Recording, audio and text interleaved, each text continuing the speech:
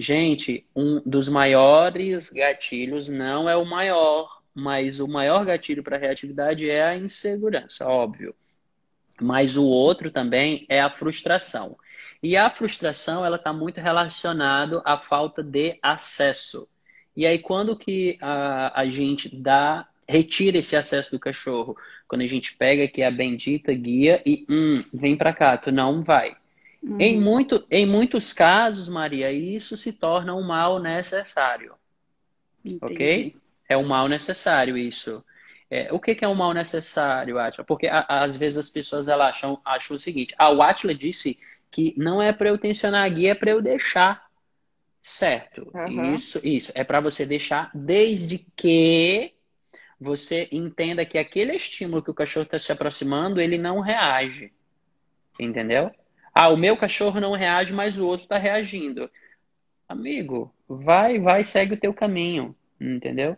Então, se você tá naquele, na, tá em cima do muro, se tensiona ou não a guia, o cara trabalha de forma preventiva. O que, que você faz? Distanciamento.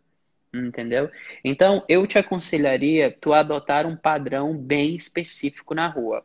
Porque como que é a, o comportamento reativo na rua?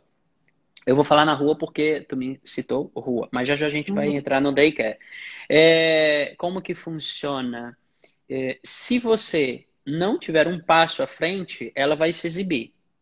E olha que interessante, quando ela se exibe, ela tem uma função. Qual que é a função?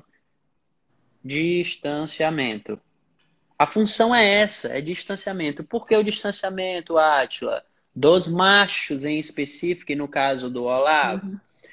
Uma experiência ruim que ele teve, que talvez você não, não, não, não chegou a ter conhecimento. Mas o interessante é você sempre se manter distante tá? Dos machos que ele não conhece, que ele não tem empatia.